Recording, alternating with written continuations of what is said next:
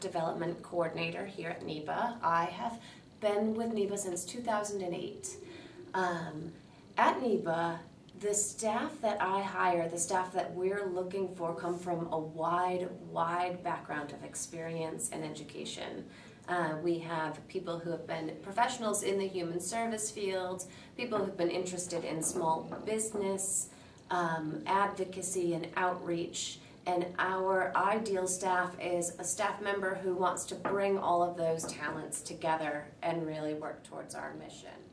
So I'm always, always interested in meeting the human service professional or the person who just has a passion towards helping people overcome their barriers and reach their goals in employment. Um, I love to meet people and talk with them about how their skills could help us in our mission.